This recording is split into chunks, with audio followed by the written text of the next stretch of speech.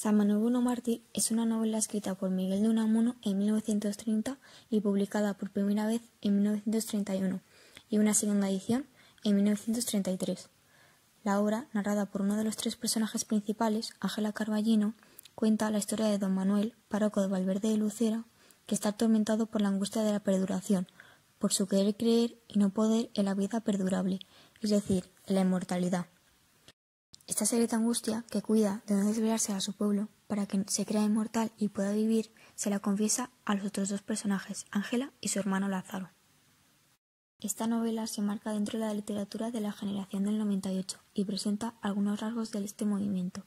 Su preocupación por los pueblos de España, por sus paisajes, símbolos de la esencia de la sociedad española, de lo eterno, de lo que Unamuno denominó intrahistoria.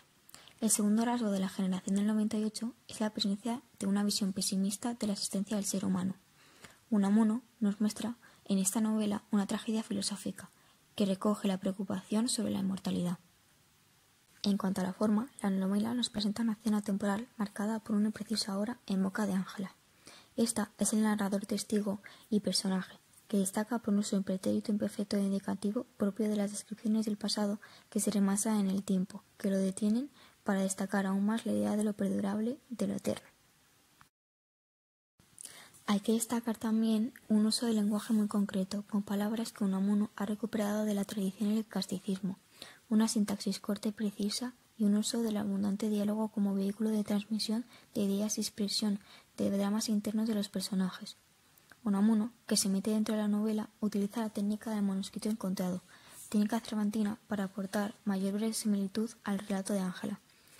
Como parte del modernismo, destaca el gran uso de símbolos, desde el nombre del personaje hasta el propio Lázaro.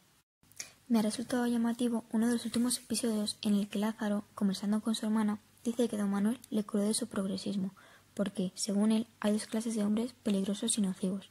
Los que, convencidos de la resurrección de la carne, atormentan a los demás para que, despreciando esta vida, se ganen la otra, y los que no creyendo más que en esta, como él y don Manuel, esperan no sé qué sociedad futura y se esfuerzan en negarle al pueblo el consuelo de creer en otra vida.